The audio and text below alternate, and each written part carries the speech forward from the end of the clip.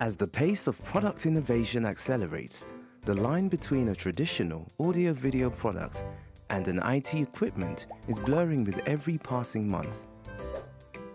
With this background, the IEC 62368 covering safety requirements of audio, video, information and communication technology equipment, and business and office machines was published. This standard will replace IEC 6950 and IEC 6065. IEC 62368 is a new type of standard and not a revision of the legacy standards. IEC 62368 will change the safety evaluation of a product from the design stage to final testing and certification. As a hazard-based standard, evaluating the product for safety during the design stage is emphasized. Identification of hazards and deciding what type of safeguards will be used is an important aspect.